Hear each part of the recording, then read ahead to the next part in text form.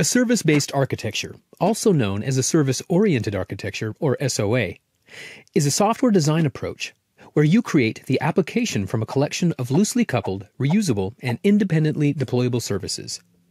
In this type of architecture, a service is a self contained unit of functionality that can communicate with other services using an API.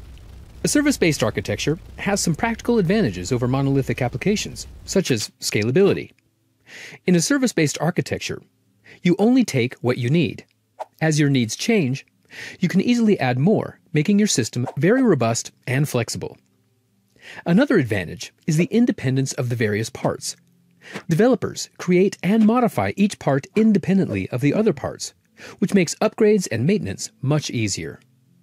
The Testeract automated test framework uses a service based architecture.